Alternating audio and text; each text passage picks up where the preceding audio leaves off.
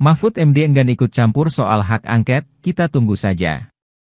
Cawapres, nomor urut 3, Mahfud MD, buka suara perihal wacana pengguliran hak angket DPR guna menyelidiki dugaan kecurangan pada pemilu 2024. Mengenai jadi atau tidaknya hak angket akan diajukan, Mahfud enggan untuk ikut campur sebab itu adalah urusan parpol. Meski begitu, pendamping Ganjar Pranowo pada Pilpres 2024 ini mengaku telah memberikan pendapat ilmiahnya perihal hak angket. Hal tersebut disampaikannya di sela-sela olahraga sore di Taman Suropati, Jakarta Pusat, Kamis, 4 April 2024.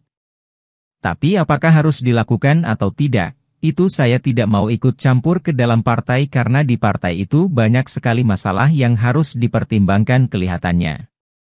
Oleh sebab itu, kita tunggu saja. Kan hak angket itu tidak dibatasi oleh waktu kan. Kapan saja. Beda dengan MK, dibatasi 14 hari.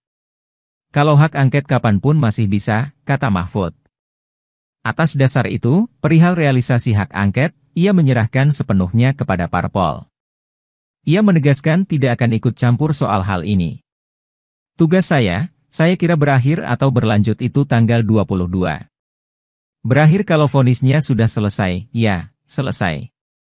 Tapi kalau, oh, ini masih ada masalah, ya, perpanjang, kan begitu.